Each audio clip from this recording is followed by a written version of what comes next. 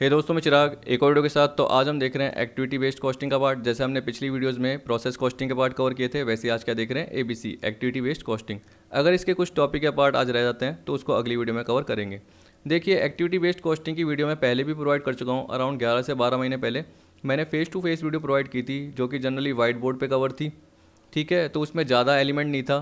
क्योंकि आपको पता है कि उसकी लिमिटेशन रहती है, जबकि पीडीएफ में लिमिटेशन नहीं रहती। आराम से जितनी भी बनाओ, काफ़ी आपके लिए, जबकि वाइट बोर्ड में तो क्या होता है बार बार लिखना पड़ता है। तो उसमें मैंने इंपॉर्टेंट पार्ट ही कवर किए थे। ये बोल सकते हैं कि सिर्फ़ मीनिंग का पार्ट कवर किया था। और हम बोल सकते हैं एग्ज़ाम्पल कुछ बताए थे थोड़े से वर्बली और उसके बाद मैंने स्टेप्स कवर कर लिए थे बस। यानी प्रोसेस कवर कर लिया था क्या होता है। और प्रोसेस में भी मैंने सीए की वीडियोज़ ये देखी थी, थोड़ी सी जो हमारी वीडियोज़ थी उसके हिसाब से। या यूट्यूब पे वीडियोस देखी थी, उसके हिसाब से मैंने क्या कवर कराया था कि आपकी प्राइमरी एक्टिविटी होती है सेकेंडरी एक्टिविटी होती है।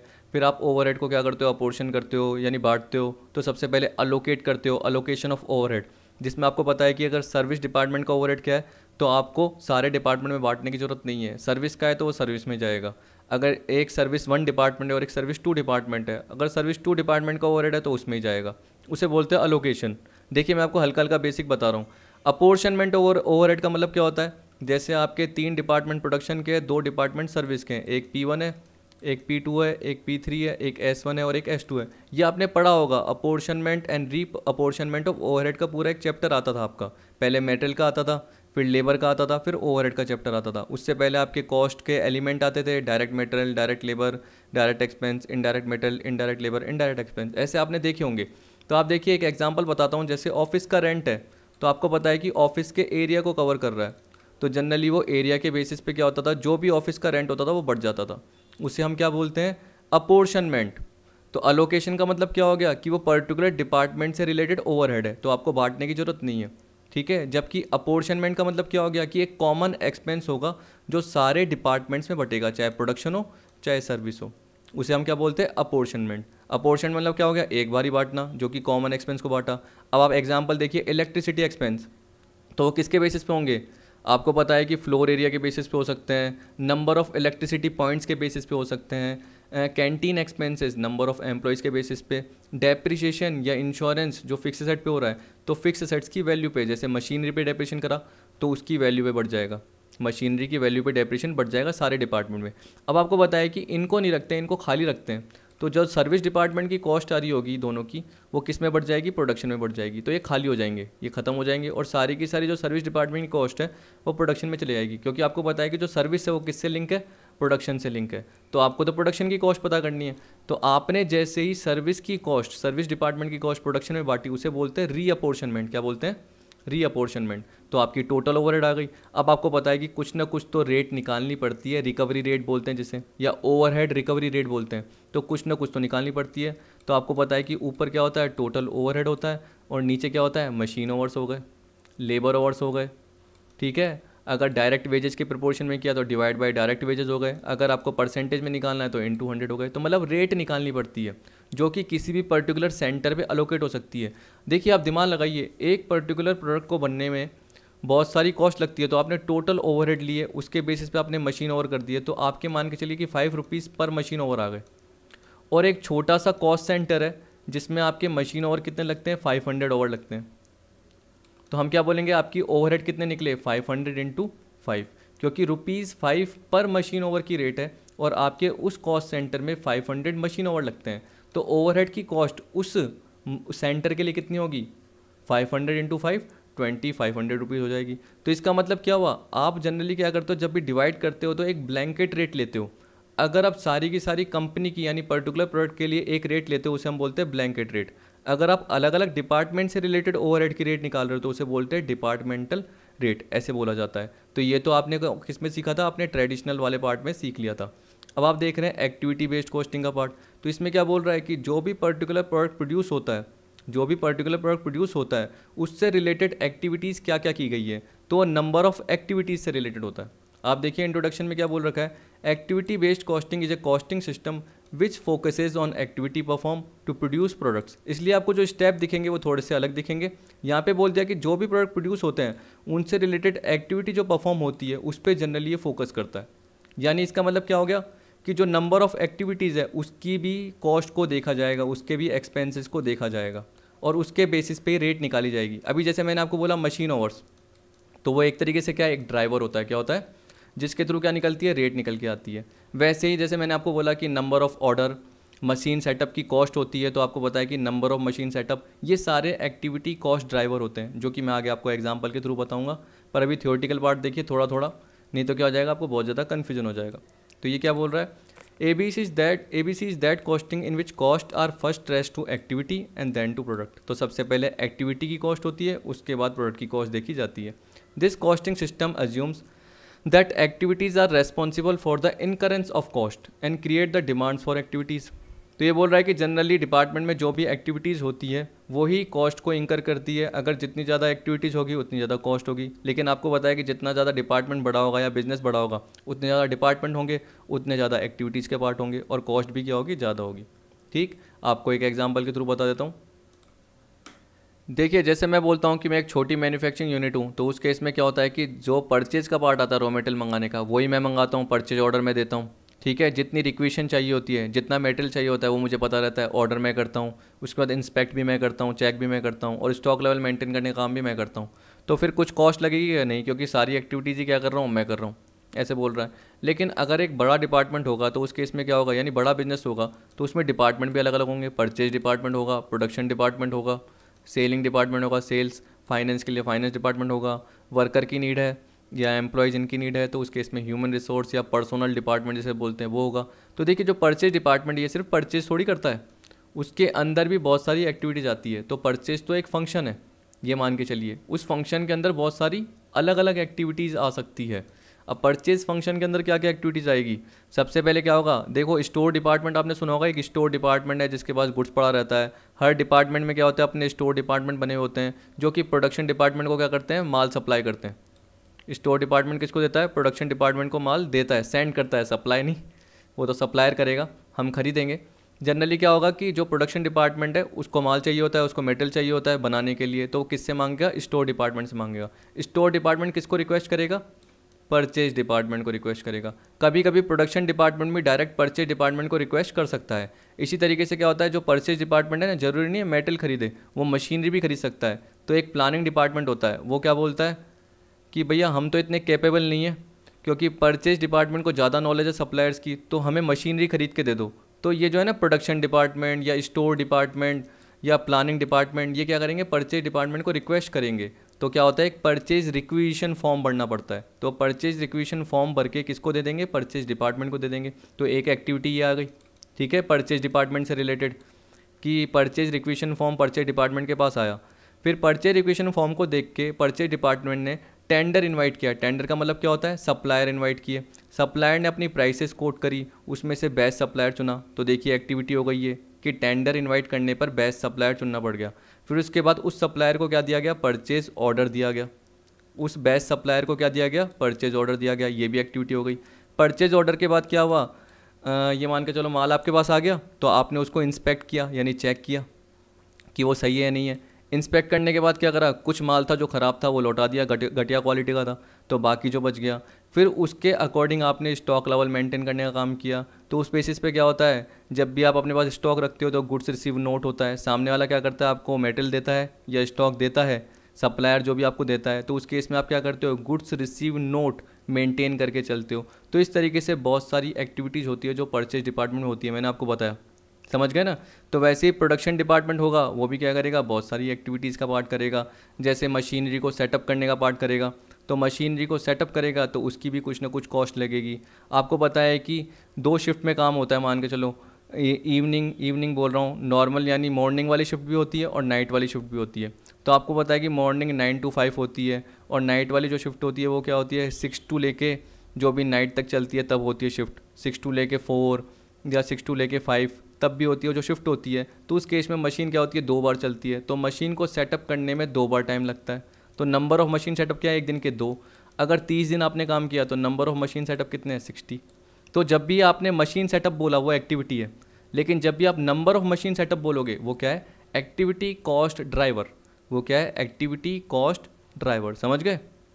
जैसे आपने ऑर्डर बोले परचेज ऑर्डर दिया तो वो क्या है? एक्टिविटी लेकिन नंबर ऑफ़ परचेज ऑर्डर क्या है? एक्टिविटी कॉस्ट ड्राइवर तो एक्टिविटी मतलब क्या है? आप कुछ ना कुछ वर्क कर रहे हो।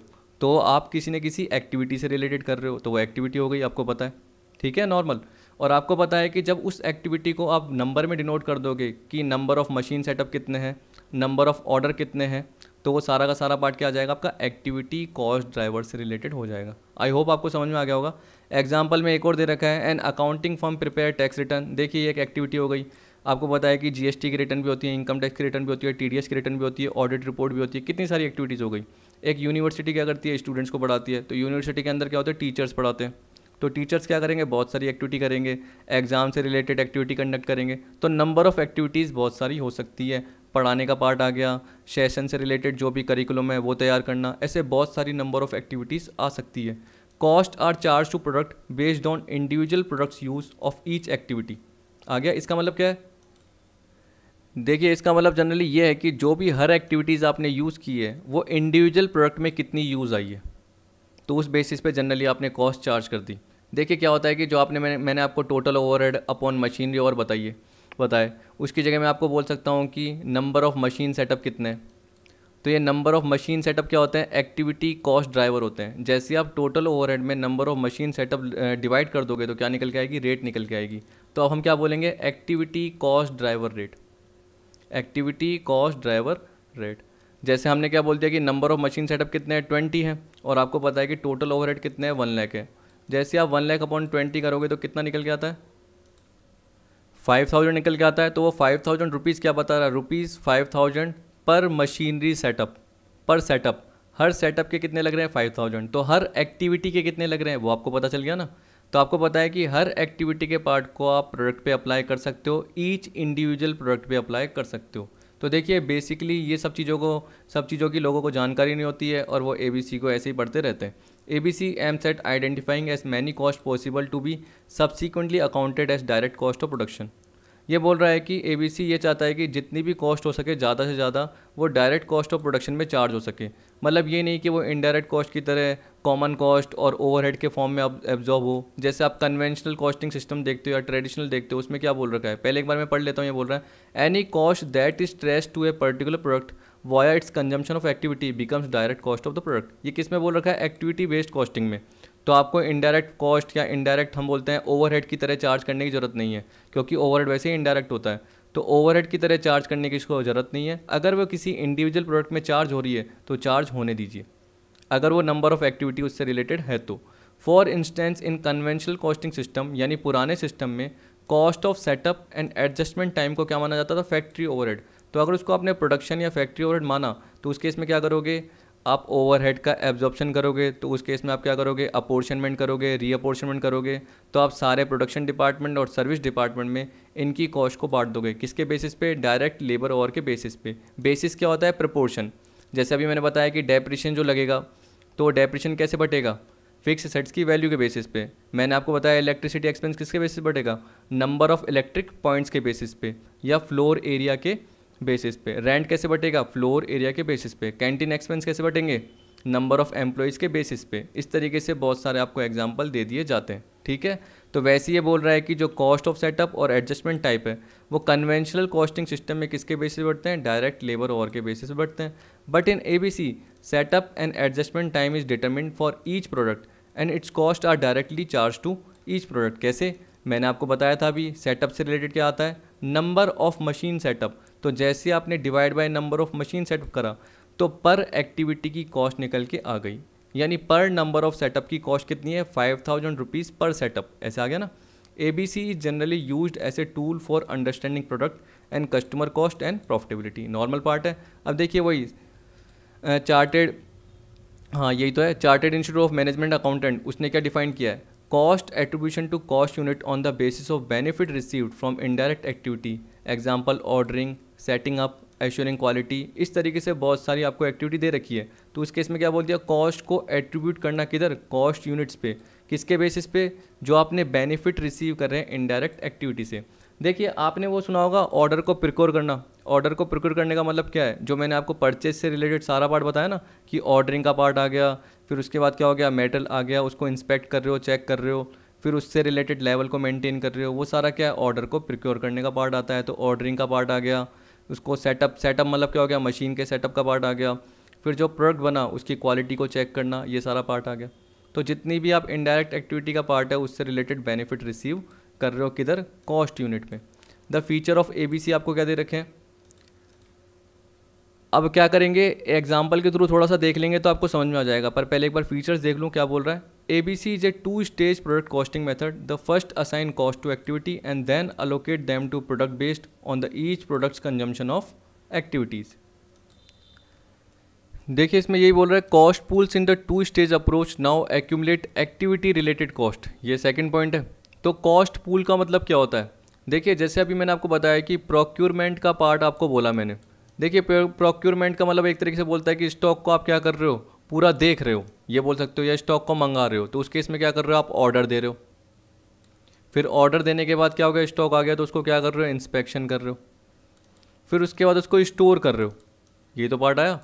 तो आपको जो मैंने बताया कि रिक्विशन का पार्ट आया, उसके बाद क्या हुआ? आपने टेंडर इन्वाइट किया सप्लायर ने क्या कर दिया? जो बोली लगाई, या हम बोल सकते हैं कोटेशन लगाई। उस कोटेशन को आपने क्या कर दिया? एक्सेप्ट कर दिया। बहुत सारे सप्लायर्स से जो लो कॉस्ट पे आपको मिल रहा था और क्वांटिटी या हम बोल सकते हैं क्वांटिटी नहीं सॉरी क्वालिटी आपको अच्छी मिल रही थी। तो वो आपने ऑर्डर क्या कर दिया? एक तरीके से सामने वाले सप्लायर को दे दिया कि हमें इतना मटेरियल चाहिए। सामने वाले ने आपको दे दिया, आपने इंस्पेक्ट किया। उसमें से आपने कुछ लौटा दिया, अगर अच्छा नहीं है। अगर अच्छा है, सारा का सारा अपने पास रख दिया। तो वो कहाँ रखा? स्टोर में। फिर उसके बेसिस पे आपने क्या कर दिया? स्टॉक लेवल बाद में तय कर लिया। जिस हिसाब से क्या होता है, आगे पर्टिकुलर वो प्रोडक्शन डिपार्टमेंट में जाता है। तो पर्टिकुलर जो ये है ना ऑर्डर हो गया इंस्पेक्शन हो गया स्टोरिंग का पार्ट हो गया, ये अलग अलग एक्टिविटीज़ हो गई। इन सारी एक्टिविटीज़ से रिलेटेड कॉस्ट को आपने एक जगह जमा कर दिया, जिसको हमने क्या बोल दिया? प्रोक्योरमेंट इसे हम क्या बोलते हैं? कॉस्ट पूल तो जब आप नंबर ऑफ़ एक्टिविटीज़ को एक जगह जमा कर देते हो, उसको आप क्या बोलते हैं कॉस्ट पूल तो यहाँ पे ये बोल दिया the cost pool in the two stage approach now accumulate activity related cost आ गया ना? जमा कर देगी एक्टिविटी से रिलेटेड कॉस्ट को सारी क्या कर देगी? इकट्ठा कर देगी। अगर आपको समझना है, जैसे ऊपर वाले पार्ट को तो यहाँ पे मैंने एक इलस्ट्रेशन कवर किया हुआ है। पीडीएफ के अंदर नहीं कवर करवा लेकिन मैं आपको एक्सप्लेन करके बता रहा हूँ, क्योंकि देखिए, आपको प्रैक्टिकल इलस्ट्रेशन की वजह से कोई नीड नहीं है, लेकिन फिर भी हल्का बेसिक समझना तो ज़रूरी है। यहाँ पे देखिए direct material cost per unit दे रखी है, ये यूनिट प्रोड्यूस दे रखा है, और ये टोटल मिला के इतनी यूनिट प्रोड्यूस हो रखी है। ये डायरेक्ट लेबर दे रखा है। अब देखिए, आपको ये कॉस्ट ड्राइवर दे रखा है। तो कॉस्ट ड्राइवर समझना सिंपल है। जब मैं आप मेरी पिछली वीडियो देखोगे तो वहाँ पे मैंने आपको दो ड्राइवर बताए हैं। तो मैं देखो डिटेल नहीं कवर करा रहा, क्योंकि आप मेरी जो है ना पुरानी वीडियो देखोगे, उसमें मैंने बताया था, एक रिसोर्स ड्राइवर होता है। रिसोर्स मतलब क्या होता है? मनी आपको काम करने के लिए क्या ज़रूरत होती है? फाइनेंस की ज़रूरत होती है। तो आपके पास मनी होना चाहिए। तो उस मनी के रिसोर्स के थ्रू आपकी एक्टिविटी का पार्ट डिनोट होता है। तो वो एक्टिविटी ड्राइवर का पार्ट आ गया कि नंबर ऑफ़ सेटअप कितने हैं। तो देखिए ए मशीन के नंबर ऑफ़ सेटअप कितने हैं? One twenty five A machine बोल रहा हूँ ए प्रोडक्ट है ना? ए प्रोडक्ट के नंबर ऑफ़ सेटअप कितने हैं?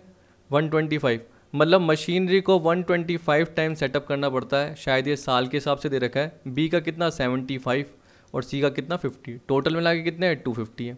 मशीन ओवर्स देखिए twenty five hundred fifteen hundred two thousand तो टोटल मिला कितने हो गए? सिक्स थाउज़ेंड हो गए।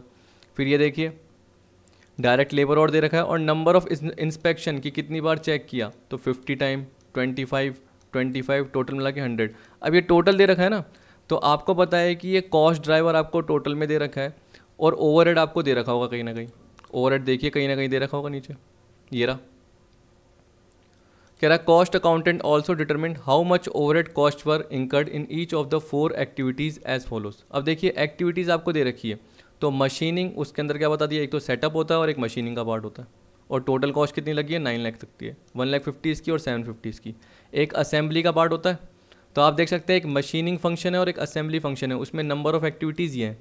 एक असेंबली का पार्ट होता है और एक इंस्पेक्शन का पार्ट होता है। टोटल मिला के कितने हो गए? फोर फिफ्टी हो गए।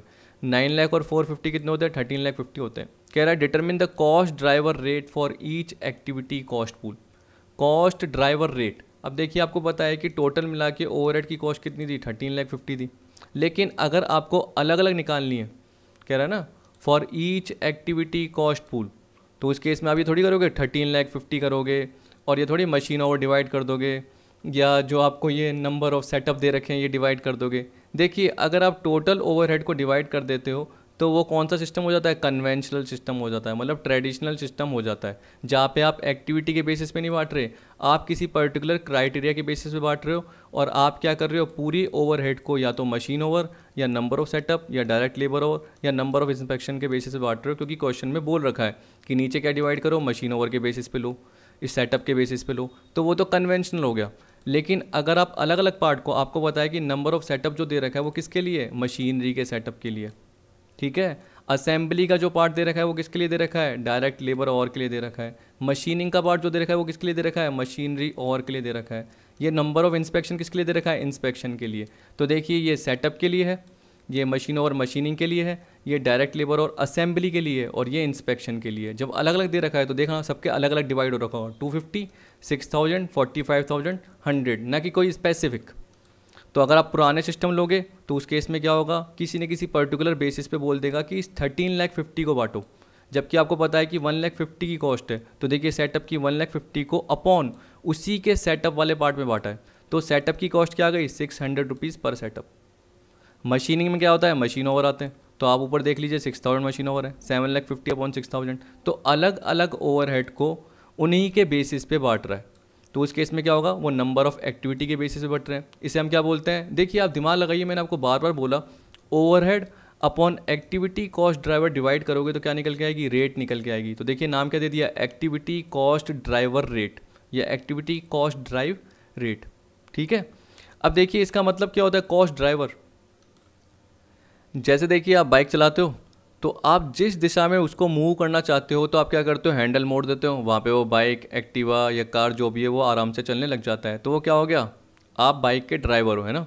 तो वैसे कॉस्ट ड्राइवर की बात कर रहा है तो ऐसा पर्टिकुलर ड्राइवर जो कि क्या कर रहा है? कॉस्ट को मूव कर रहा है। इसमें जनरली कॉस्ट ड्राइवर का मतलब ये है। जो कि क्या बोल सकते हैं कि कॉस्ट में मूवमेंट लेके आ रहा है कॉस्ट में चेंज कर रहा है। तो यहाँ पे हम बोल सकते हैं, कौन सा ड्राइवर हो गया? टू आप मान के चलिए कि अगर ये टू फिफ्टी सेटअप नहीं होते थ्री हंड्रेड होते तो ये कॉस्ट में मूवमेंट लेके आ जाता। One lakh fifty upon three hundred करके देखिए कितना आ जाता। Five hundred rupees per setup आ जाता सिक्स हंड्रेड की जगह। तो वो हंड्रेड रुपीज़ से क्या कर दी? आपकी कॉस्ट कम कर दी। ठीक है? पर सेटअप की। पर आपको पता है कि पर सेटअप का मतलब क्या होगा? फाइव हंड्रेड रुपीज़ से, यानी हंड्रेड रुपीज़ से कॉस्ट कम कर दी। लेकिन किसी पर्टिकुलर सेटअप पे कितनी लग रही है? तो जब इंटू करोगे तो ज़्यादा ही होगी। किसी पर्टिकुलर प्रोडक्ट को बनाने में कितनी सेटअप की कॉस्ट लग रही है? जैसे ये टू फिफ्टी तो आपकी टोटल दे रखी है। लेकिन आपको पता है कि अगर कोई एक पर्टिकुलर प्रोडक्ट बनाने में फिफ्टी की सेटअप लग रही है। तो six hundred rupees per setup है सिक्स हंड्रेड इंटू फिफ्टी कर दीजिए, ऐसे बोल रखा है, क्योंकि आपका टोटल टू टू फिफ्टी है। ये देखिए सिक्स थाउज़ेंड मशीन और दे दी है अगर ये चेंज हो जाता है तो आपको पता है कि अगर ड्राइवर चेंज हो जाता है तो कॉस्ट में चेंज होता है। तो उसे हम क्या बोलते हैं? कॉस्ट ड्राइवर इसलिए इसको कॉस्ट ड्राइवर बोला जा रहा है। इसको कॉस्ट ड्राइवर बोला जा रहा है। तो number of machine setup number of machine hour number of labour hour number of inspection ये सारे क्या हैं? कॉस्ट ड्राइवर समझ गए? एक्टिविटी कॉस्ट ड्राइवर और जो एक्टिविटी वो क्या कहलाती है? ये सारी सेटअप मशीनिंग असेंबली इंस्पेक्शन ये भी एक एक्टिविटी है। आगे आपको समझ में इस तरीके से आपको पार्ट दे रखा है। Use the activity based costing method to determine the unit cost for each product अब हर प्रोडक्ट के लिए आपको क्या निकालनी है? यूनिट कॉस्ट निकालनी है। तो यहाँ पे इसने क्या कर रखा है? आप देख सकते हैं डायरेक्ट मटेरियल डायरेक्ट लेबर दे रखा है। ये पर्टिकुलर आपको दे रखा होगा। लेकिन जो इसने ना six hundred rupees per setup one twenty five eight rupees per nine hundred जो भी निकाले हैं सारे पार्ट इसको मल्टीप्लाई कर दिया जो भी पर्टिकुलर सेटअप की पार्ट है। एक बार ऊपर जाके देख लीजिए जो सेटअप के दे रखे हैं।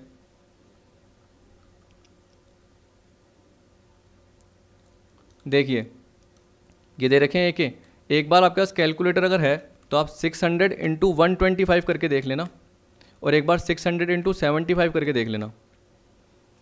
तो आप देख लेना 600 हंड्रेड इंटू वन करोगे तो कितना आएगा? 75,000 आएगा और ये 45 आएगा। बस मैं इतना ही बता रहा हूँ और ज़्यादा नहीं बताऊँगा क्योंकि सिंपल पार्ट है और हाँ डायरेक्ट मेटेरियल कैसे निकलता है आप देखिए। कि कॉस्ट पर यूनिट दे रखी है तो twenty five thousand two forty labour कैसे निकलेगा? Twenty five thousand two fifteen ऐसे देख सकते हैं।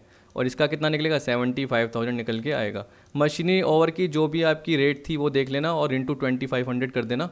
उस हिसाब से निकल के आ जाएगा ए का। फिर बी का निकल के आ जाएगा सी का निकल के आ जाएगा। हाँ वन ट्वेंटी फाइव रुपीज़ थी पर मशीन ओवर तो जैसे आप मल्टीप्लाई करोगे तो ये निकल के आएगा। देखिए, ये निकल के आया और ये फोर्टी फाइव निकल के आया। और आप जैसे ये मल्टीप्लाई कर रहे थे, ऊपर दे रखा था तो निकल के आया। टोटल ओवर कॉस्ट आ गई। ये टोटल कॉस्ट आ गई, क्योंकि आपको पता है कि ये दोनों मिला के, और ये six lakh thirty two five hundred जो इनकी है, चारों की तो ये आपकी डायरेक्ट है प्राइम कॉस्ट और ये आपकी ओवर की कॉस्ट है। मिला के ये टोटल कॉस्ट आ गई डिवाइड बाई क्या कर दिया यूनिट कितना निकला? ट्वेंटी फाइव थाउज़ेंड तो जैसे ट्वेंटी फाइव थाउज़ेंड डिवाइड करेंगे तो यूनिट कॉस्ट यानी कॉस्ट पर यूनिट निकल के आ जाएगी। तो आपका मेन क्या है कॉस्ट ड्राइवर है। तो देखिए ट्रेडिशनल में क्या होता है कॉस्ट को डायरेक्टली प्रोडक्ट के थ्रू अलोकेट करते हैं, लेकिन एक्टिविटी में क्या होती है, दो स्टेज आती है। दो स्टेज का मतलब ये देख लीजिए डायग्राम आपको समझ में आ जाएगा। फिर मुझे वापस दिखाने की ज़रूरत नहीं होगी। देखिए ट्रेडिशनल कॉस्ट सीधा प्रोडक्ट जबकि यहाँ पे क्या बोल रहा है, जो कॉस्ट है वो किससे रिलेटेड है? एक्टिविटी से रिलेटेड है। ठीक है? और एक्टिविटी फिर किससे रिलेटेड है? प्रोडक्ट तो आप देख लीजिए कि ये जो प्रोडक्ट को इससे लिंक कर रखा है एरो बना के, और एक्टिविटी को किससे लिंक कर रखा है? कॉस्ट से लिंक कर रखा है। तो ये टू स्टेज आ गया और जबकि ये सिंगल स्टेज से रिलेटेड पार्ट हो गया। तो ये क्या हो गया? ट्रेडिशनल और नीचे वाला क्या हो गया? एक्टिविटी बेस्ड हो गया। इस तरीके से आपको सिंपल दिए होते हैं, लेकिन देखिए समझाने में क्या होता है? थोड़ा थोड़ा टाइम लगता है। अगर मैं आपको, मैं पर्टिकुलर कोई पॉइंट नहीं बताऊँगा तो आप वैसे ही कन्फ्यूज़ होंगे और आप पाँच मिनट दस मिनट सोच के वैसे ही वो पर्टिकुलर टॉपिक छोड़ देंगे।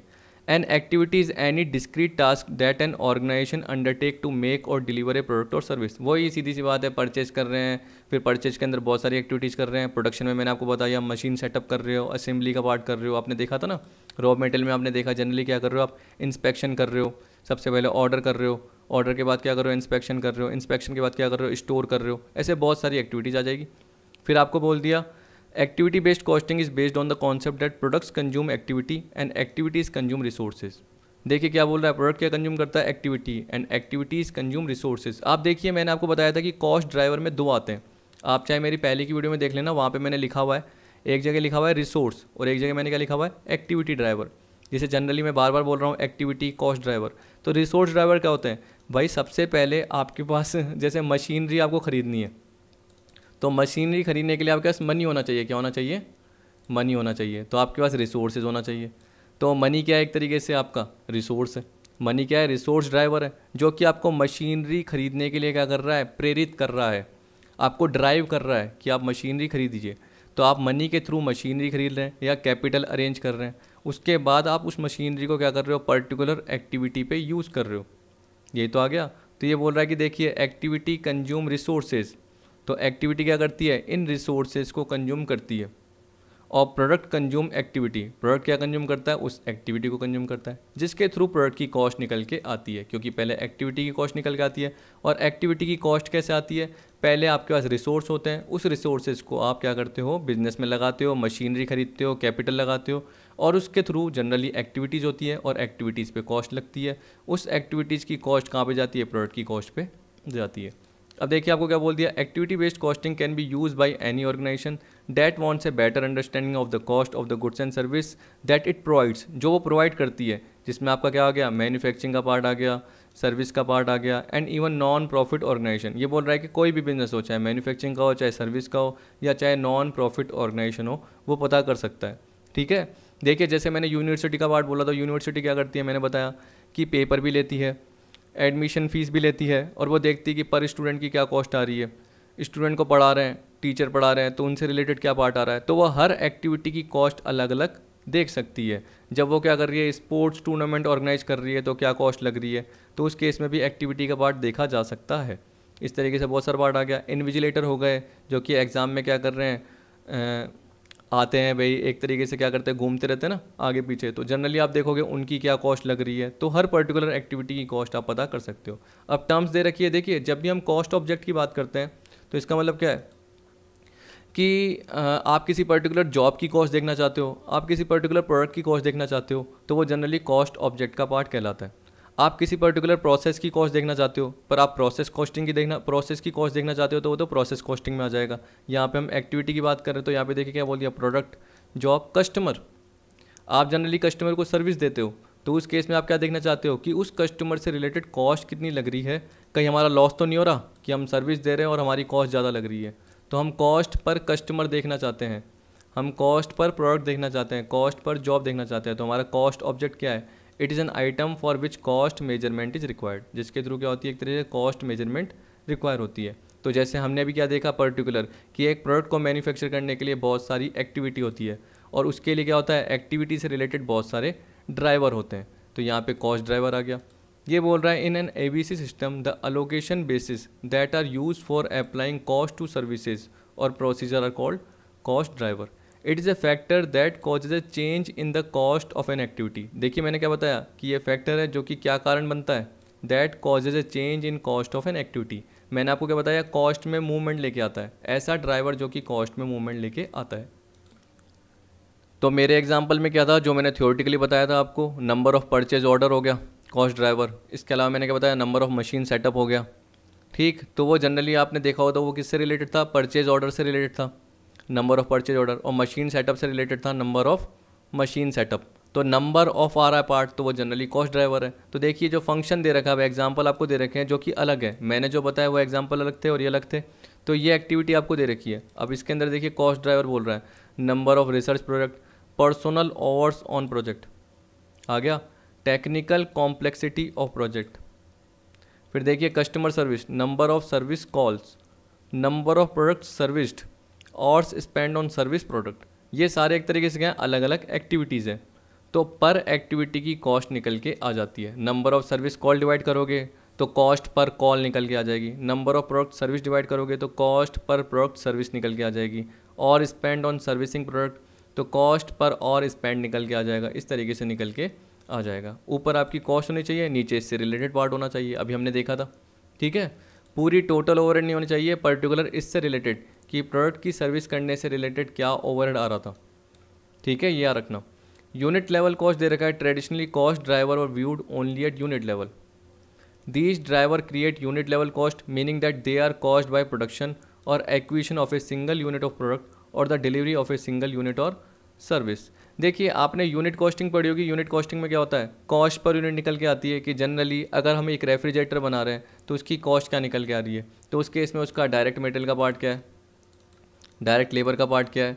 या आप देख सकते हैं कि साल के दौरान कितना डायरेक्ट मेटेरियल लगा, कितना लेबर लगा। जनरली ये आप देख रहे हो। अब आपको पता है कि उसके अंदर आप ओवरहेड जोड़ रहे हो तो आपकी टोटल कॉस्ट आ जाएगी।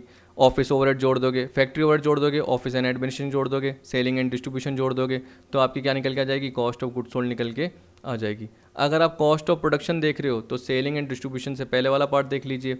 और जैसे आप आउटपुट डिवाइड करोगे तो आपकी क्या निकल के आ जाएगी? कॉस्ट पर यूनिट निकल के आ जाएगी। तो यहाँ पे ये बोल रहा है they are cost by the production or acquisition of a single unit of product or the delivery of single unit or service तो ये सिंगल यूनिट की बात कर रहा है। तभी इसका नाम क्या है? यूनिट लेवल कॉस्ट बैच में क्या होता है?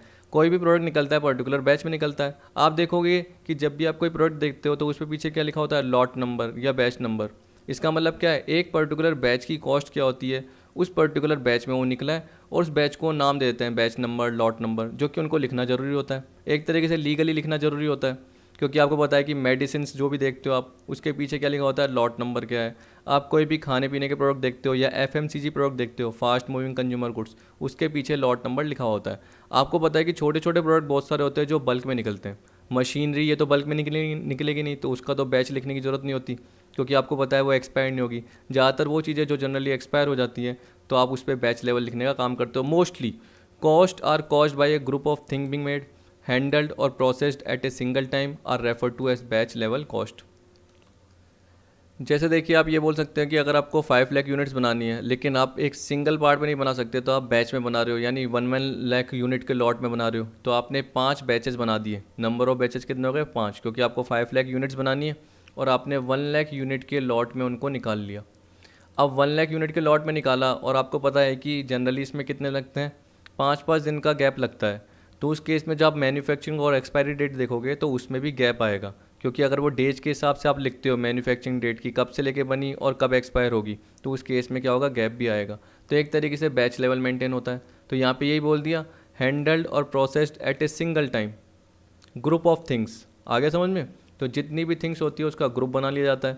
इंडिविजुअली नहीं कैलकुलेट की जाती, क्योंकि वो यूनिट लेवल से रिलेटेड है। जबकि अगर आप बैच के हिसाब से देखोगे तो कॉस्ट पर बैच क्या आ रही है? कॉस्ट पर बैच क्या आ रही है? अब यहाँ पे प्रोडक्ट लेवल बैच कॉस्ट आ गया। तो यहाँ पे क्या हो गया? कॉस्ट पर प्रोडक्ट तो इसका मतलब क्या है? आप एक से ज़्यादा पर्टिकुलर प्रोडक्ट प्रोड्यूस कर रहे हो। तो यहाँ पे बोल दिया cost cost by development production or acquisition of different items is called a product level or process level cost तो यहाँ पे ये बोल दिया कि कॉस्ट जो लग रही है किसके थ्रू डेवलपमेंट के थ्रू मतलब टेक्निकल जो भी चेंजेस हो रहे हैं, उसके थ्रू इक्विपमेंट में आप मेंटेनेंस कर रहे हो, उसके थ्रू तो आपका क्या हो रहा है? डेवलपमेंट हो रहा है। प्रोडक्शन के through acquisition of different item different item आप खरीद रहे हो, क्योंकि आपको क्या करना है, उस प्रोडक्ट को प्रोड्यूस करने में डिफरेंट आइटम का यूज़ करना है। These include engineering change order equipment maintenance product development and scrap if related to product design ये सारा पार्ट आ गया। अब आपका फैसिलिटी आ गया। फैसिलिटी मतलब क्या बोल दिया? जो कि पर्टिकुलर प्रोडक्ट लाइन से रिलेटेड नहीं है। प्रोडक्ट को प्रोड्यूस करने के लिए जनरली क्या होती है, वो यूज़ में नहीं ली जाती है। लेकिन एक तरीके से वो मैं बोल सकता हूँ कि यानी प्रोडक्ट को बनाने के लिए मेटल जैसे आप काम में ले रहे हो तो मेटल की बात नहीं कर रहा, लेकिन वो उसकी सर्विस की बात कर रहा है। जैसे हमने बोलते हैं कि प्लांट की सिक्योरिटी रखनी है, या बिल्डिंग को मेंटेन करना है, या आ गया, पूरे के पूरे ऑर्गेनाइजेशन की एडवर्टीजमेंट का पार्ट आ गया तो वो जनरली किससे रिलेटेड हो गया? फैसिलिटी से रिलेटेड हो गया। Some cost can not be related to a particular product line these are instead related to providing a facility generally ये फैसिलिटी से रिलेटेड होती है। For example cost of maintaining a building अब ये किसी पर्टिकुलर स्टॉक या metal से related नहीं है। ये पूरी के पूरे बिल्डिंग को मेंटेन करने से रिलेटेड है और प्लांट सिक्योरिटी प्लांट की सिक्योरिटी को मेंटेन करना और एडवर्टीजमेंट प्रमोटिंग द ऑर्गेनाइजेशन जो कि ऑर्गेनाइजेशन के एडवर्टीजमेंट को प्रमोट कर रहा है। कंपनी के, किसी पर्टिकुलर प्रोडक्ट की बात नहीं कर रहा, क्योंकि अगर पर्टिकुलर प्रोडक्ट से रिलेटेड हो गया तो फिर तो वो प्रोडक्ट लेवल कॉस्ट हो गया, क्योंकि आप क्या कर रहे हो डेवलपमेंट का पार्ट कर रहे हो। तो वो पर्टिकुलर प्रोडक्ट लेवल की कॉस्ट से रिलेटेड हो सकता है। अगर आप एडवर्टीजमेंट किसी इंडिविजुअल प्रोडक्ट से रिलेटेड बोल रहे हो, लेकिन अगर आप एडवर्टीजमेंट पूरे ऑर्गेनाइजेशन या कंपनी की बात कर रहे हो तो वो फैसिलिटी से रिलेटेड आ जाएगा।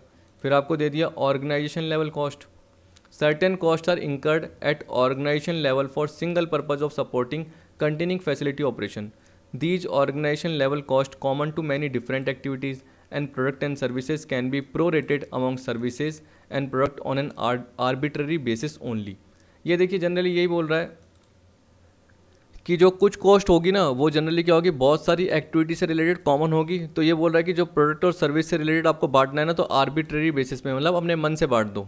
तो अगर मन से बांटोगे तो वो इलॉजिकल हो जाएगा। तो इस केस में क्या बोल रहा है these cost are not product related thus they should be subtracted from net product revenue instead of an arbitrary and illogical apportionment तो आपको अगर आर्बिट्ररी करना है तो कर दो, लेकिन वो क्या हो जाएगा, गलत हो जाएगा। इससे अच्छा क्या करो, ये बोल रहा है कि जो भी नेट सेल हुई है नेट प्रोडक्ट रेवेन्यू आया है उसमें से जनरली इसको लेस कर दो इन कॉस्ट को, क्योंकि ये कॉमन कॉस्ट है और ये पर्टिकुलर किसी, हम बोल सकते हैं कि बहुत सारी एक्टिविटी से रिलेटेड कॉमन है।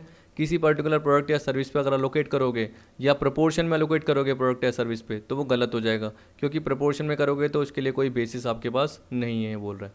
फिर आपको एट्थ बोल दिया कॉस्ट पूल अब देखिए कॉस्ट पूल जनरली मैंने आपको बताया था कि cost are group into pool according to activities जैसे मैंने आपको बताया था प्रोक्योरमेंट वाला एग्जांपल इसमें भी ये दे रखा है कि उसके अंदर उसके अंदर क्या आ गया? ऑर्डरिंग इंस्पेक्शन स्टोरिंग एट्सेट्रा तो देखिए, इतनी सारी एक्टिविटी का पार्ट आ गया आपका। तीन या उससे ज़्यादा बहुत सारी एक्टिविटीज़ हो सकती है। तो नंबर ऑफ़ एक्टिविटीज़ का जब आप पार्ट जोड़ दोगे और उनसे रिलेटेड कॉस्ट को टोटल करोगे, उसे हम क्या बोलेंगे? कॉस्ट पूल तो cost are group into pool according to activities which drive them in this all cost associated with procurement that is ordering inspection storing etcetera would be included in this cost pool and cost driver identify the technique of A B C lay importance on different cost for different cost ये गलत line है, ये मैंने हटाई थी वैसे, क्योंकि इसमें कुछ मिस्टेक थी, लेकिन अभी हटी नहीं तो इसको मैं हटा दूँगा। ठीक है? इसको मैं पी डी एफ़ से रिमूव कर दूँगा। ये लाइन गलत थी। अब देखिए बेसिक्स ऑफ़ एबीसी का पार्ट बोल रखा है। बेसिक जनरली वो बोल रखा है कि जो मैंने आपको बताया कि जनरली क्या होता है, वो एक्टिविटी से रिलेटेड होता है। अब आपको पता है कि एक्टिविटी से रिलेटेड होता है तो उस केस में आपको कॉस्ट को असाइन करना पड़ता है, जिसके लिए आपको किसको देखना पड़ता है? एक्टिविटी कॉस्ट ड्राइवर को देखना पड़ता है। उससे पहले आपको रिसोर्सेज को देखना पड़ता है। अगर आपके पास रिसोर्सेज हैं, तब जाके ही आप एक्टिविटीज़ अरेंज कर पाओगे। अगर आपके पास रिसोर्सेज हैं ही नहीं तो आप एक्टिविटी अरेंज नहीं कर पाओगे। यही बोल रहा है? देखिए, आप देख सकते हैं कि पहली लाइन में यही बोल रखा है कि A B C assign cost to product by tracing expense to activity मैंने वही बताया था कि एक्टिविटी से रिलेटेड एक्सपेंस को सबसे पहले ट्रेस करेंगे, तब जाके प्रोडक्ट की कॉस्ट अप्लाई होगी, यानी प्रोडक्ट पे कॉस्ट निकल के आएगी। Each product is charge based on the extent to which it use an activity इसका मतलब क्या है? हर प्रोडक्ट की जो भी कॉस्ट देखी जाएगी तो उसमें देखा जाएगा कि हर एक्टिविटी का कितना यूज़ किया गया उस पर्टिकुलर प्रोडक्ट को बनाने के लिए। The primary objective of A B C is to assign cost that reflect or mirror the physical dynamics of the business provides way of assigning the cost of indirect support resource to activities business process customer products तो ये बोल रहा है कि जो भी आपके क्या कॉस्ट ऑब्जेक्ट हैं, जैसे आपने कस्टमर प्रोडक्ट जॉब देखा, उस पर पर्टिकुलर जो भी इनडायरेक्ट एक्टिविटीज़ है, जैसे हमने ऑर्डरिंग देखा, हमने इंस्पेक्शन का पार्ट देखा, हमने स्टोरिंग का पार्ट देखा, जो कि प्रोक्योरमेंट से रिलेटेड था तो हमने पर्टिकुलर मेटल का पार्ट देखा। अगर हम मशीनरी की बात करें तो मैंने आपको क्या बताया कि मशीनरी का सेटअप का पार्ट आ गया असेंबली का पार्ट आ गया। इस तरीके से बहुत सारी इनडायरेक्ट एक्टिविटी है। उसकी कॉस्ट कितनी लगेगी पर्टिकुलर प्रोडक्ट को प्रोड्यूस करने में? वो हमें पता चल जाता है। पर्टिकुलर कस्टमर से रिलेटेड क्या सर्विसेज़ से रिलेटेड कॉस्ट होगी। तो नंबर ऑफ़ एक्टिविटीज़ की जो भी कॉस्ट है, वो किसके बेसिस पे लग रही है? कॉस्ट ऑब्जेक्ट के बेसिस पे। तो सबसे पहले हमें पता होना चाहिए कि हम क्या बना रहे हैं। हम प्रोडक्ट बना रहे हैं। हम कस्टमर को सर्विस दे रहे हैं। हम बिज़नेस प्रोसेस की बात कर रहे हैं एक्टिविटी की बात कर रहे हैं, किसकी बात कर रहे हैं? It recognise that many organisational resources are required not for physical production of unit of product but to provide a broad array of supporting activities तो ये बोल रहा है कि कई ऑर्गेनाइजेशन रिसोर्सेज आपको चाहिए होते हैं। ये नहीं कि आपको जनरली क्या करना है? यूनिट का प्रोडक्शन करना है। पर आपको सपोर्ट एक्टिविटी के फॉर्म में उन रिसोर्सेज की ज़रूरत होती है। तो आपको फाइनेंशियल या मनी रिसोर्सेज की ज़रूरत होती है, जो कि एक तरीके से उस एक्टिविटी को करने के लिए काम में आती है। और एक्टिविटी होगी तो आपका प्रोडक्ट बन के ही निकलेगा। एक तरीके से सपोर्ट मिलेगा, ये बोल रहा है। अब देखिए, बोल रहा है cost of a product is the sum of cost of all activity required to manufacture and deliver the product वही आ गया? Product do not consume cost directly product direct consume नहीं करेगा कॉस्ट को डायरेक्टली क्योंकि अगर डायरेक्टली कंज्यूम करता है तो वो कौन सी होगी? ट्रेडिशनल एब्जॉर्प्शन कॉस्टिंग हो जाएगी। अगर वो एक्टिविटी से रिलेटेड कॉस्ट निकल के आ रही है, फिर वो प्रोडक्ट पे अप्लाई हो रही है तो उसे हम एक्टिविटी बेस्ड कॉस्टिंग बोलते हैं। तो यहाँ पे देखिए क्या बोल दिया। Money is spent on activity which are consume by product or services तो मनी क्या है? रिसोर्सेज तो रिसोर्सेज के लिए क्या होगा? रिसोर्स ड्राइवर इसका मतलब मैंने क्या बोल दिया? आपके पास मनी है। तो आप उस केस में क्या कर रहे हो? कैपिटल में इन्वेस्टमेंट कर रहे हो। मशीनरीज प्लांट फर्नीचर जो भी है, उसमें आप क्या कर रहे हो? इन्वेस्टमेंट कर रहे हो। तो रिसोर्स ड्राइवर उस रिसोर्स ड्राइवर के थ्रू आपको एक्टिविटी करने की इच्छा होगी। इसका मतलब मशीनरी होगी, तभी तो आप मशीन सेटअप कर पाओगे, तभी तो आप असेंबली का काम कर पाओगे, तभी तो आप प्रोडक्शन स्टार्ट कर पाओगे तो तभी तो जाके आप एक्टिविटी करोगे। कोई आपका कॉस्ट ऑब्जेक्ट होना चाहिए मतलब या तो आप कोई प्रोडक्ट प्रोड्यूस कर रहे हो, या किसी कस्टमर को सर्विस दे रहे हो, या पर्टिकुलर जॉब से रिलेटेड कॉस्ट देखना चाहते हो कि जॉब की कॉस्ट कितनी है तो कॉस्ट ऑब्जेक्ट देखना चाहते हो कि कितनी कॉस्ट निकलने वाली है पर्टिकुलर प्रोडक्ट की जॉब की। और जैसे ही वो पर्टिकुलर एक्टिविटी ड्राइवर का पार्ट आपको पता चल गया, जैसे मशीनरी सेटअप मैंने बोला असेंबली बोला नंबर ऑफ़ ऑर्डर बोले परचेज ऑर्डर आपको बताए, ठीक? इस तरीके से बहुत सारे पार्ट आएँगे। नंबर ऑफ़ लेबर आवर्स भी हो सकते हैं। तो जो भी एक्टिविटी ड्राइवर है वो उस पर्टिकुलर एक्टिविटी से रिलेटेड हो, वो पता होना चाहिए। तो ये सारा आपको दे दिया। अब आपको डिफरेंस दे दिया। डिफरेंस में क्या है? देखिए ट्रेडिशनल में क्या होता है? Overheads are first related to department cost मैंने आपको बताया था, वो प्रोडक्शन सर्विस होता है P one P two P three S one S two ऐसे बताया था। वैसे एक्टिविटी में जनरली क्या होता है? ओवरहेड सबसे पहले क्या होता है? एक्टिविटी से रिलेटेड होते हैं। फिर उसके बाद क्या होता है? जो भी नंबर ऑफ़ एक्टिविटी होती है, उनका कॉस्ट पूल बना दिया जाता है। जैसे प्रोक्योरमेंट वाला एग्ज़ाम्पल याद रखिए, आपके माइंड में हमेशा आपको याद रहेगा। Only two types of activity that is unit level and facility level activities are identified देखिए, अभी मैंने नीचे टाइप ऑफ़ एक्टिविटीज़ कवर कर रखी है तो उससे आपको पता चल जाएगा। लेकिन यहाँ पे क्या बोल दिया? सारी एक्टिविटीज़ आती है। Unit level batch level product level facility level अगर आपने अभी अभी ऊपर ऊपर टर्मिनोलॉजी में कॉस्ट लेवल पढ़ा प्रोडक्ट लेवल पढ़ा फैसिलिटी लेवल पढ़ा बैच लेवल पढ़ा तो आपको समझ में आ जाएगा। यूनिट बैच प्रोडक्ट फैसिलिटी का पार्ट क्या है? तो इसमें देखिए क्या बोल रहा है कि चारों चारों पार्ट लिए जाते हैं, इसमें सिर्फ़ दो ही पार्ट लिए जाते हैं, एक तो यूनिट लेवल एक्टिविटी और फैसिलिटी लेवल एक्टिविटीज़ का पार्ट लिया जाता है। देखिए कैसे, क्योंकि आप सोचिए कि प्लांट की सिक्योरिटी का पार्ट बोल दिया इसने, या बिल्डिंग की मेंटेनेंस का पार्ट बोल दिया, या बिल्डिंग की सेफ्टी का पार्ट बोल दिया इसने, वो तो जनरली होता ही होता है।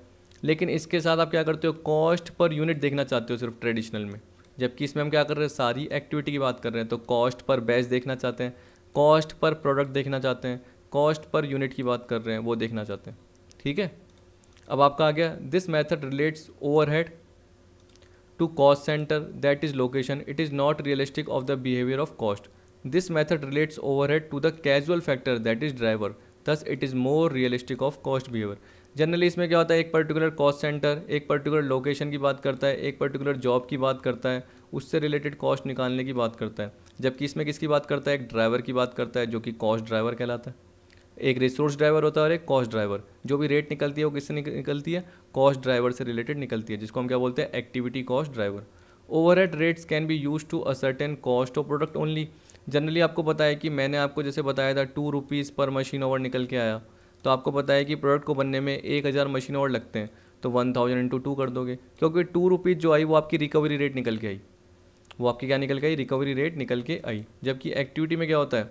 Cost driver rates can be used to a certain cost of product and also cost of other cost objects such as customer segment, distribution channel etc तो जो भी आपकी पर्टिकुलर कॉस्ट निकलेगी, वो अलग अलग पार्ट की निकलेगी। अलग अलग पार्ट का मतलब क्या हुआ? यहाँ पे तो कॉमन है।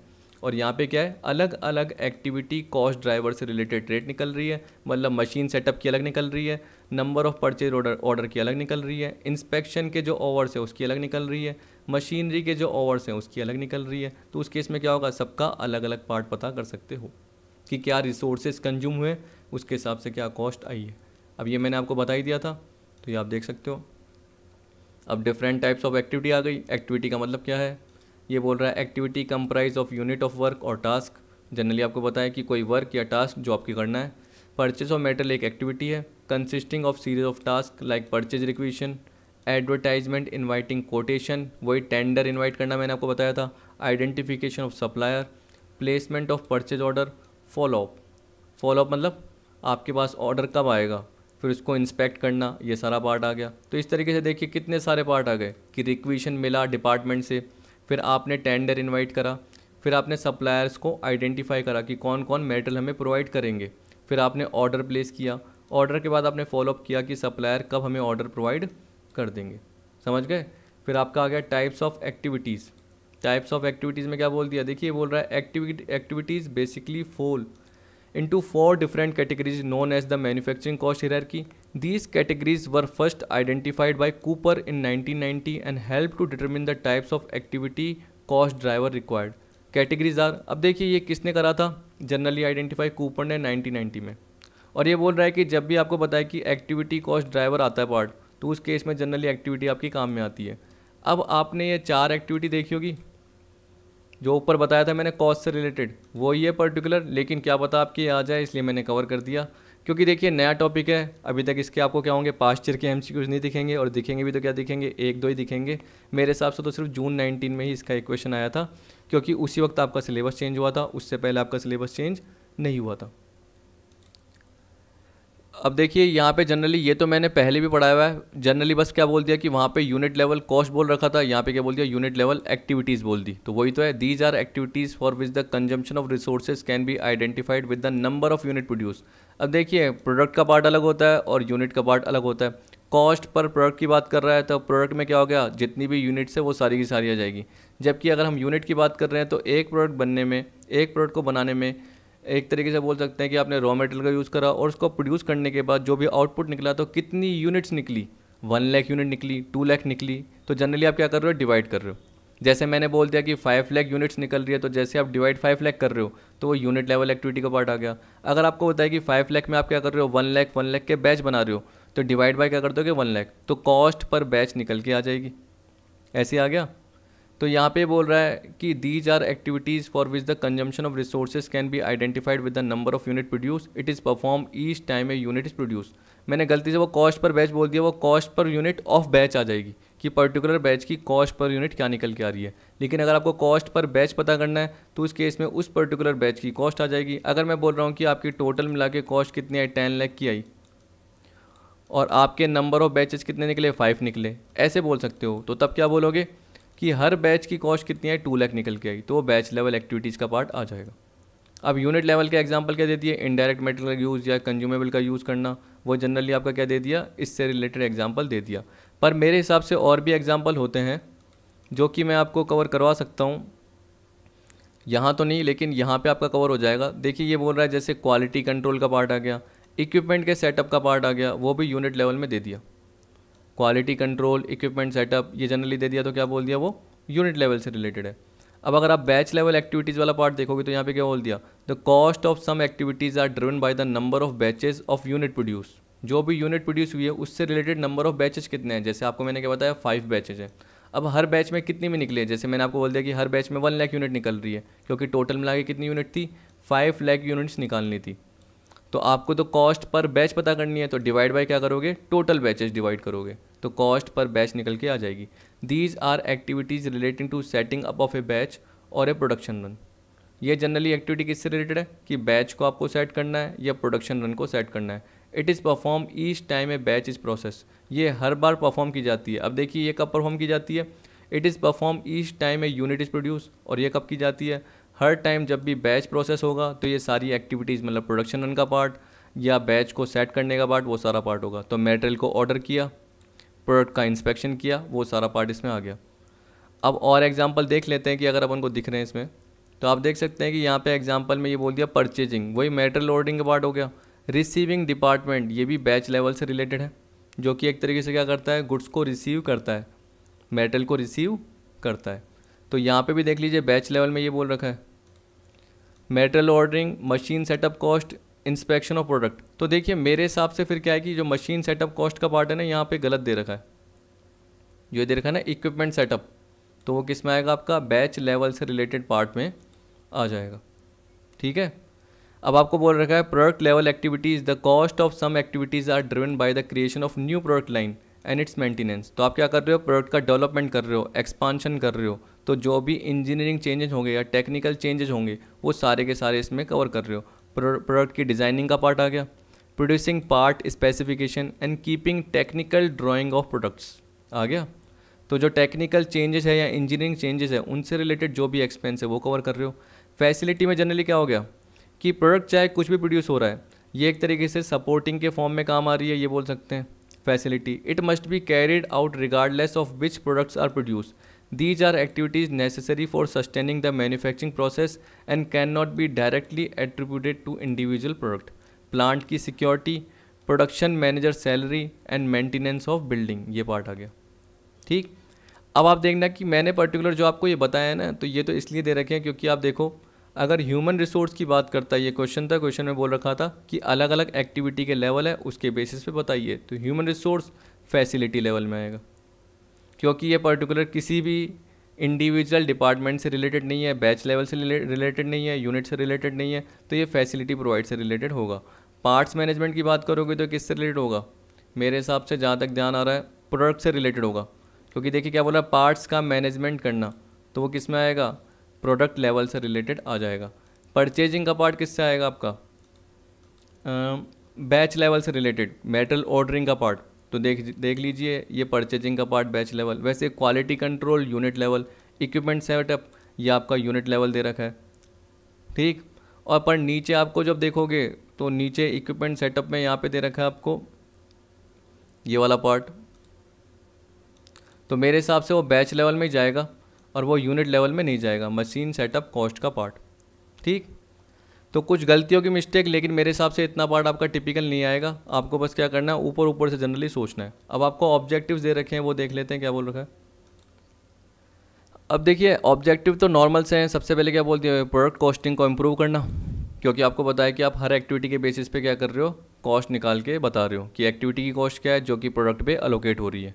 तो प्रोडक्ट की कॉस्टिंग क्या हो रही है इंप्रूव हो रही है। To identify non value adding activity जो भी इनडायरेक्ट एक्टिविटीज़ है प्रोडक्शन प्रोसेस में वो सारी की सारी आप आइडेंटिफाई कर रहे हो और उसके बेसिस पे आप क्या कर रहे हो? एक्टिविटी कॉस्ट ड्राइवर रेट निकाल के बता रहे हो, जो कि किसी भी रिसोर्सेज पे क्या होगी? अलोकेट होगी।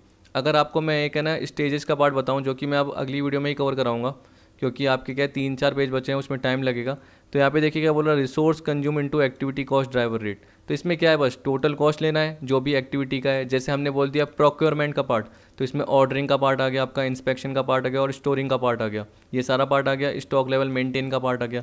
तो जो भी उससे रिलेटेड कॉस्ट लगी, वो सारी की सारी कॉस्ट हमने एक साथ ले ली और डिवाइड बाई क्या कर दिया एक्टिविटी कॉस्ट ड्राइवर प्रोक्योरमेंट से रिलेटेड जो भी पार्ट है, कि नंबर ऑफ़ प्रोक्योरमेंट कितने हैं, कितना है फिफ्टी आए, इस तरीके से पार्ट आया तो डिवाइड बाई क्या कर दिया आपने फिफ्टी कर दिया. तो पर प्रोक्योरमेंट की कॉस्ट क्या आ रही है? उसे हम क्या बोलेंगे? एक्टिविटी कॉस्ट ड्राइवर रेट वैसे अगर आपने इंडिविजुअली देखा मुझसे एग्ज़ाम्पल के फॉर्म में तो मैंने आपको यहाँ बताया था। एक बार बता देता हूँ। मैंने आपको ये एग्ज़ाम्पल कवर करवाया था। ये वाला। तो देखिए, मैंने यहाँ पे बताया था कि वन लैख फिफ्टी क्या है? मशीनरी के सेटअप की कॉस्ट है। डिवाइड बाय टू फिफ्टी करोगे तो टोटल पार्ट तो वो six hundred rupees per setup निकल के आ जाएगा। तो आप सिक्स हंड्रेड करोगे तो ए प्रोडक्ट में कितना है? सिक्स हंड्रेड इंटू जो भी आपको दे रखे हैं number of setup six hundred into B में कितना है? जो भी नंबर ऑफ़ सेटअप दे रखे हैं। तो आपको ऊपर नंबर ऑफ़ सेटअप दे रखे होंगे, तभी जाके तो आपने टोटल में टू फिफ्टी सेटअप किए। कैसे करें? क्योंकि आपको इंडिविजुअली हर प्रोडक्ट के नंबर ऑफ़ सेटअप दे रखे हैं। तब जाके तो आपने टोटल किए। ठीक? तो आप कभी भी कॉस्ट का टोटल नहीं कर रहे, क्योंकि आपको पता है कि आपको मशीनरी से रिलेटेड कॉस्ट दे रखी है। कहाँ दे रखी है? ये रही। तो आपको मशीनरी की सेटअप की दे रखी है वन फिफ्टी अलग। मशीनिंग की अलग से दे रखी है। तो आप ये नहीं कि nine lakh plus four fifty thirteen lakh fifty का कर रहे हो। अगर आप ये करोगे तो वो ट्रेडिशनल कॉस्टिंग सिस्टम का पार्ट हो जाएगा, जो कि मैंने आपको बताया। ठीक है? अब आपको बोल रखा है कि जो ये पर्टिकुलर पार्ट आएगा, इसको मल्टीप्लाई किससे करोगे? जितना रिसोर्सेज कंज्यूम किया गया उस पर्टिकुलर एक्टिविटी से रिलेटेड अगर कोई रिसोर्सेज कंज्यूम का पार्ट आ रहा है, जैसे मल्टीप्लाई करोगे तो कॉस्ट निकल के आ जाएगी। तो यही पार्ट आपको बोल रखा था। अब ऊपर देख लेते हैं ऑब्जेक्टिव बाकी जो बचे। तो देखिए यहाँ पे बोल रहा है टू प्रोवाइड रिक्वायर्ड सॉरी एक बार ऊपर का पढ़ो to identify non value adding activities in the production process which might be a suitable focus for attention और एलिमिनेशन वही सीधी सी बात कि अगर आपको प्रोडक्शन प्रोसेस में पर्टिकुलर उस एक्टिविटी को हटाना है या उस एक्टिविटी को लेना है फालतू में अगर कोई एक्टिविटी ज़्यादा कॉस्ट इंकर करनी है तो उसको लेने की ज़रूरत ही नहीं है। तो एक्टिविटी बेस्ड कॉस्टिंग से क्या पता चलता है कि अगर हमारी कॉस्ट ज़्यादा आ रही है तो उसी वक्त हम डिसीज़न मेकिंग की अप्रोच लगाएँगे और हम पहले से क्या कर देंगे, एक पर्टिकुलर प्लान बना देंगे, जिससे हमारी अब कॉस्ट लगेगी ही नहीं। हमें वो एक्टिविटी को पार्ट को हटा ही देना है, जिसमें हम क्या बोलेंगे कि वो कोई वैल्यू ही प्रोवाइड नहीं कर रही। ठीक है? कॉस्ट तो लग रही है, लेकिन क्या हो गया कि हमारी कॉस्ट बहुत ज़्यादा बढ़ रही है। देखिए कॉस्ट ज़्यादा होने से कुछ नहीं होता। आपको जनरली ये देखना पड़ता होगा कि आपका गुड्स जो बिक रहा है वो उस पर्टिकुलर कॉस्ट से ऊपर प्रॉफिट जोड़ के बिक रहा है या नहीं बिक रहा। तो अगर आपकी कॉस्ट ज़्यादा हो गई तो आपको बहुत ज़्यादा लॉस हो सकता है। तो उस particular non value adding activity को आप हटा रहे हो जिससे आपकी कॉस्ट क्या हो रही है एलिमिनेट हो रही है। To provide required information for decision making to reduce the frivolous यानी non essential use of common resources जो भी कॉमन रिसोर्सेज हैं उनका एक तरीके से क्या करना आ, हम बोल सकते हैं यूजेस जो भी है वो रिड्यूस करना। देखिए क्या होता है कि कभी कभी जो है ना, आप कॉस्ट पर यूनिट निकालते हो यूनिट लेवल बेसिस पे तो उसमें कुछ क्या होता है कॉमन रिसोर्सेज भी आ जाते हैं और वो अप्लाई हो जाते हैं, जबकि उनकी नीड ही नहीं थी, जैसे ऊपर बता दिया। तो आपको पता है कि जो भी इनडायरेक्ट एक्टिविटी है, वो चलो प्रोडक्शन प्रोसेस में आइडेंटिफाई हो रही है, जो कि अटेंशन के लिए सूटेबल हो सकती है या एलिमिनेशन के लिए, कहने का मतलब अगर उनको हटाना है। तो वैसे ही बोल दिया कि कुछ कॉमन रिसोर्सेज हैं, जो यूजेबल ही नहीं है, जैसे एलिमिनेशन करना है, यहाँ पे बोल दिया नॉन वैल्यू एडिंग एक्टिविटीज़ का, वैसे ही कुछ नॉन एसेंशियल आपको एक्टिविटीज़ दे रखी है। तो उस केस में आप क्या करोगे, उसको रिड्यूस करो। या ये कॉमन रिसोर्सेज की बात कर रहे हैं ना तो कॉमन रिसोर्सेज का मतलब क्या हो गया? जो भी आपके पास फाइनेंस के रिसोर्सेज हैं तो वो आप क्या कर रहे हो, उसको सही ढंग से यूटिलाइज़ कर रहे हो। सही ढंग से यूटिलाइज़ का मतलब सही ढंग से आप फर्नीचर स्पेयर पार्ट मशीनरीज वो परचेज करने में इनका यूज़ कर रहे हो, ताकि वो आगे एक्टिविटीज़ में काम आ सके। फिफ्थ में क्या बोल दिया? To encourage manager to evaluate the efficiency of internally provided services देखिए मैनेजमेंट जब भी होता है, जैसे मैंने बताया परचेज ऑफिसर है वो क्या कर रहा है? बहुत सारे काम कर रहा है। परचेज रिक्विशन का पार्ट ले रहा है। उसके बाद क्या कर रहा है? उसको देखते हुए मेटेरियल क्या कर रहा है? मंगा रहा है। तो उससे पहले वो क्या कर रहा है? टेंडर इनवाइट कर रहा है। मतलब सप्लायर्स को अट्रैक्ट कर रहा है एक तरीके से कि हमें आपसे गुड्स लेना है। अब सप्लायर क्या कर रहे हैं? कोटेशन दे रहे हैं। उसके हिसाब से वो क्या कर रहा है? किसी भी पर्टिकुलर सप्लायर को चुन के ऑर्डर का पार्ट ले रहा है। परचेज ऑर्डर परचेज ऑर्डर के बाद क्या हुआ? आपके पास क्या आया गुड्स आया, आपने उसको इंस्पेक्ट किया। तो इस तरीके से बहुत सारा पार्ट आया। तो आप कॉस्ट पर इंस्पेक्शन निकाल सकते हो। Cost per number of order निकाल सकते हो। यानी कॉस्ट पर ऑर्डर निकाल सकते हो। कॉस्ट पर टेंडर निकाल सकते हो। तो इससे आपकी एफिशिएंसी पता चलेगी। To encourage manager to evaluate the efficiency of internally provided services तो मैनेजर को पता चल जाएगा कि जो भी पर्टिकुलर उसके नीचे अंडर में काम कर रहा है, उस, उसमें कितनी एफिशिएंसी या कितना एफिशिएंटली वो काम कर रहा है। सिक्स में आपको बता दिया to calculate the full cost of product for financial reporting purpose and for determining cost based prices आपको ये कॉस्ट बेस्ड प्राइस का मतलब क्या है? कि जनरली बोल दिया कि कॉस्ट में कितना एक तरीके से प्रॉफिट इंक्लूड होगा, वो पता चल जाएगा। मार्जिन एक तरीके से आप पहले से मेंटेन करके चलते हो तो आप अपनी कॉस्ट को लिमिटेड रखना चाहते हो कॉस्ट को ज़्यादा बढ़ाना नहीं चाहते तो उस केस में हर एक्टिविटी पे आपको कॉस्ट पता चल रही है। तो जो फालतू की एक्टिविटी है, उसको आप एलिमिनेट कर सकते हो, जिससे आप जो अपनी कॉस्ट चाहते थे स्टैंडर्ड वो पर्टिकुलर आप सेट कर सकते हो किसके थ्रू एक्टिविटी बेस्ड कॉस्टिंग के थ्रू इसी तरीके से जो आपको रिपोर्टिंग करनी है, उसके लिए भी आपको प्रोडक्ट की फुल कॉस्ट पता करनी है तो वो इसके थ्रू कैलकुलेट हो जाएगी।